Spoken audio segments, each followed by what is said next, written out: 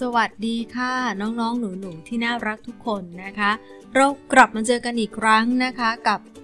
การหาลิมิตของฟังก์ชันนะคะ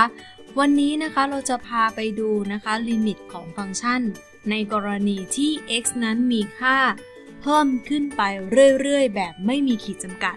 นะคะ หรือที่เราใช้สัญลักษณ์ว่า infinity นะคะ ในที่นี้นะคะเราต้องการหาลิมิตนะคะเมื่อ x นั้นเข้าใกล้ infinity ความหมายนะคะ infinity นี่เป็นสัญลักษณ์นะคะ ไม่ใช่ตัวเลข เป็นสัญลักษณ์แทนความหมายก็คือ ค่าที่มันมากมากมากจนเราไม่สามารถตอบได้ว่ามันมากแค่ไหนนะคะ ถ้า x นั้นมีค่าเพิ่มขึ้นไปเรื่อยๆนะคะ เจ้าฟังก์ชันนี้นะคะ 6x ยกกำลัง 4 ลบ 5x ยกกำลัง 2 หารด้วย 7x กำลัง 4 บวกด้วย 14 เนี่ย มันจะมีค่าเข้าใกล้อะไรนะคะ ถ้าเราคิดเหมือนกับการหาค่าลิมิตทั่ว ๆ ไปนะคะ เราลองจินตนาการตามนิดหนึ่งนะคะว่า ในกรณีที่ x นั้นมันมีค่าเพิ่มขึ้นไปเรื่อยๆนะคะ ยกกำลัง4นะ ยกกำลัง4ค่ามันก็จะต้องยิ่งมากขึ้น คูณ 6 มันก็ยิ่งมากขึ้นนะคะ ส่วนเจ้าตัวนี้ก็เช่นเดียวกันนะคะ ค่า x มันเพิ่มขึ้นไปเรื่อยๆ ยกกำลัง 2 มันก็มากขึ้น ใช่ไหมคะ คูณ 5 มันก็มากขึ้นนะคะ แต่ว่า 6 คูณกับ x ยกกำลัง 4 กับ 5x ยกกำลัง 2 เนี่ย ดูแล้วเนี่ย เจ้าตัวนี้เนี่ยน่าจะมีค่ามากกว่าเจ้าตัวนี้ นั่นหมายความว่าตัวเศษนะคะ ก็จะมีค่าเพิ่มขึ้นไปเรื่อยๆนะคะทำนองเดียวกันนะคะ เจ้าตัวส่วนตัวนี้ก็จะมีค่าเพิ่มขึ้นไปเรื่อยๆ เช่นเดียวกันนะคะ ดังนั้นนะคะเจ้าลิมิตตัวนี้นะคะ จะเป็นลิมิตที่อยู่ในรูปแบบ infinity ส่วนด้วย infinity ความหมายก็คือตัวเศษมีค่าเพิ่มขึ้นไปเรื่อยๆ แบบไม่มีขีดจำกัด ตัวส่วนก็มีค่าเพิ่มขึ้นไปเรื่อยๆ แบบไม่มีขีดจำกัดเช่นเดียวกัน ทีนี้เจ้าสองตัวนี้หารกันแล้ว มันจะมีค่าเป็นอะไร เราไม่สามารถตอบได้นะคะ เจ้าตัวนี้จะถือเป็น indeterminate form นะคะ หรือรูปแบบที่ไม่กำหนดอีกรูปแบบหนึ่งนอกจาก0ส่วน0ทีนี้วิธีการที่จะหาคำตอบนะคะ ของลิมิตที่อยู่ในรูป infinity ส่วน infinity ก็สามารถทำได้ 2 วิธี คือ 1. เราอาจจะจัดรูปของฟังก์ชันสมัยนะคะ หรือไม่ก็ 2. เราจะใช้กฎของโลปิทาวนะคะในคลิปนี้นะคะจะแสดงวิธีทำให้ดูทั้ง 2 แบบนะคะก็คือเราจะจัดรูปของฟังก์ชันด้วย และเราก็จะใช้กฎของโลปิทาวด้วยนะคะ เรามาดูการจัดรูปของฟังก์ชันก่อนเลยค่ะ จากข้อกำหนดที่เขากำหนดให้ตัวนี้นะคะ ถ้าเราจะจัดรูปนะคะเราจะทำอย่างไรนะคะ การจัดรูปจะไม่เหมือนกับการจัดรูปในกรณี0ส่วน0 นะคะ ในกรณีนี้เนี่ยเราจะจัดรูปให้มันมีลักษณะเป็นเศษส่วนซ้อนให้มากขึ้นนะคะ วิธีการทำให้มันเป็นเศษส่วนซ้อนให้มากขึ้นนะคะ ก็คือเราจะดูว่าตัวเศษของเราเนี่ยเจ้า x เนี่ยมันยกกำลังสูงสุดเป็นอะไรนะคะ เราจะใช้วิธีการดึงตัวร่วมออกไป นะดึง x ที่กำลังสูงสุดเนี่ยออกไปนะคะอย่างกรณีนี้เนี่ย x กำลัง 4 กับ x กำลัง 2 ถ้าเราดึงตัวร่วมปกติ เราจะดึง x กำลัง 2 ใช่ไหมคะ แต่ในที่นี้เราต้องการทำให้มันเป็นเศษส่วนนะคะ เราจึงดึง x กำลัง 4 ออกนะคะทำนองเดียวกันกับตัวส่วนก็เหมือนกันนะคะ x กำลังสูงสุดคือ x กำลัง 4 ก็จะดึง x กำลัง 4 ออกไปเห็นไหมคะ พอเราดึง x กำลัง 4 ออกไป มันจะกลายเป็น 6 ลบด้วย 5 ส่วนด้วย x กำลัง2เห็นไหมเกิดเป็นเศษส่วนซ้อนนะคะ ส่วนตัวนี้นะคะ ตัวส่วนนี้นะคะ พอเราดึง x กำลัง 4 ออกไป ก็จะกลายเป็น 7 บวกด้วย 14 ส่วนด้วย x กำลัง 4 จากนั้นเราก็ตัดทอนเป็นเศษส่วนต่างเหลือตัวนี้ค่ะ ทีนี้เราลองคิดนิดหนึ่งนะคะ ลองคิดที่เจ้าตัวนี้อีกทีหนึ่งนะคะ ในกรณีที่ x มันเพิ่มขึ้นไปเรื่อยๆ ยิ่ง x มีค่าเพิ่มขึ้นมากขึ้นมากขึ้น เท่าไหร่ก็ตาม 5 ส่วนด้วย x กำลังสองมันจะมีค่าน้อยลง น้อยลง น้อยลงจนในที่สุด มันก็จะค่อยๆ เข้าใกล้ศูนย์ทำนองเดียวกันนะคะ 14 ส่วนด้วย x กำลัง4เมื่อ x มันมีค่าเพิ่มขึ้นไปเรื่อยๆ14 หารด้วย x กำลัง4ก็จะมีค่าน้อยลง น้อยลง น้อยลง จนในที่สุดมันก็จะเข้าใกล้ศูนย์มาก ๆ นะคะ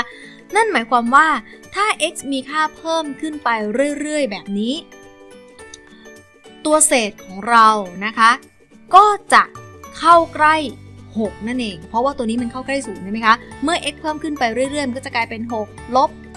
อะไรตัวที่มันเข้าใกล้ศูนย์6ลบตัวที่มันเข้าใกล้ศูนย์เพราะนั้นพอตัวนี้มันมีค่าน้อยมากๆ จนเข้าสู่ศูนย์ตัวเศษก็จะเข้าใกล้ 6ทำนองเดียวกันตัวส่วนก็จะเข้าใกล้ 7 เพราะฉะนั้นเราจึงตอบได้ว่าลิมิตตัวนี้นั้น จะมีค่าเท่ากับ6ส่วน7นะคะ นั่นหมายความว่า ถ้าเรามองตัวนี้เป็นฟังก์ชัน ฟังก์ชันนี้ก็จะมีค่าเข้าใกล้6ส่วน7เมื่อ x นั้นมีค่าเพิ่มขึ้นไปเรื่อยๆนะคะเด็กๆ หลายคนนะคะ อาจจะมองข้อนี้โจทย์ข้อนี้ปุ๊บสามารถตอบได้ทันทีนะคะ เพราะว่าหลายคนอาจจะใช้วิธีการท่องเป็นวิธีลัดว่า เราจะไปดูว่าสัมประสิทธิ์หน้า x กำลังสูงสุดนะคะสัมประสิทธิ์หน้า x กำลังสูงสุดตัวเศษคือ 6 สัมประสิทธิ์หน้า x กำลังสูงสุดตัวส่วนคือ 7 เพราะนั้นเราเอาสัมประสิทธิ์ตัวนี้มาตอบได้เลยนะคะ ก็สามารถทำได้ แต่มันก็อาจจะมีโจทย์บางข้อที่จะต้องใช้ความระมัดระวังในกรณีที่เราจะหยิบสัมประสิทธิ์แบบนี้มาตอบ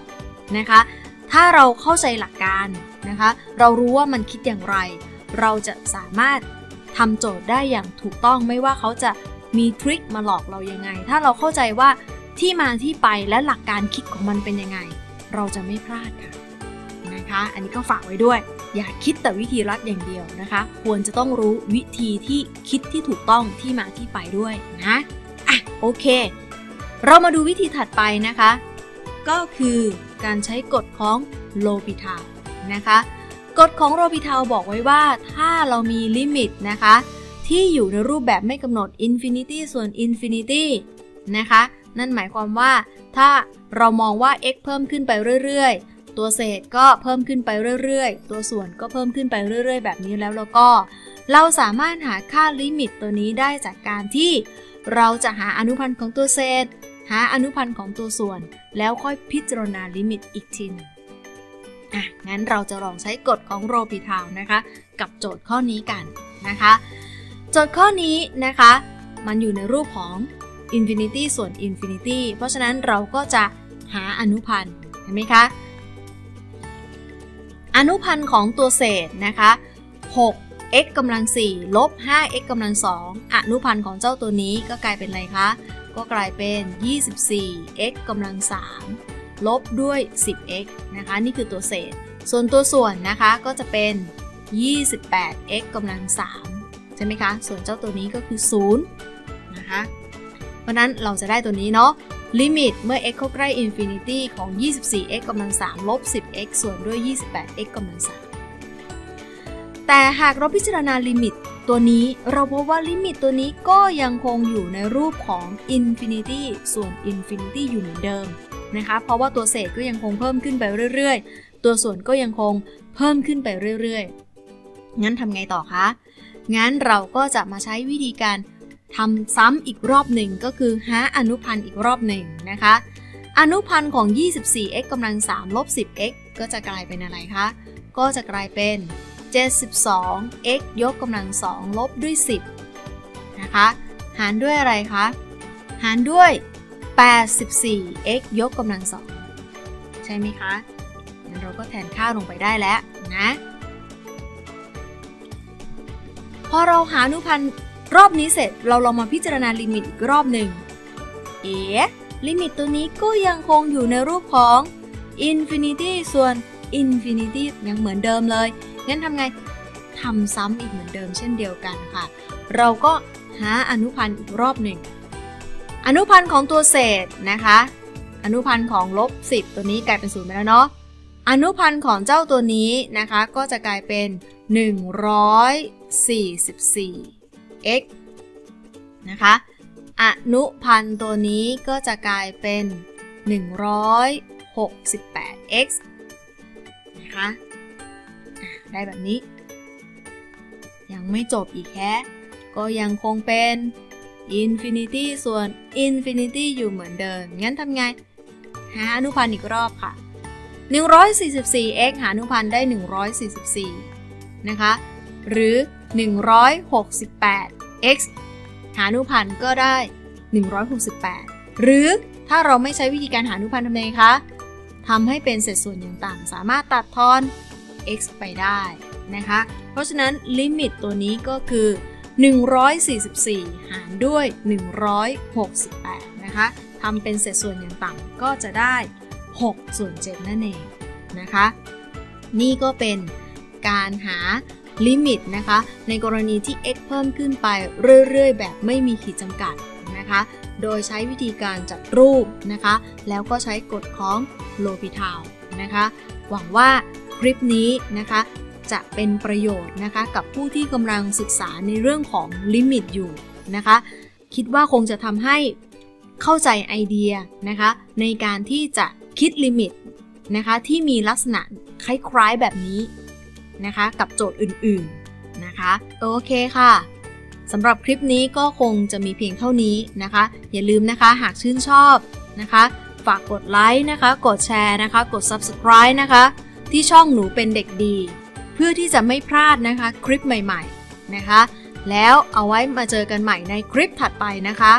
สวัสดีค่ะ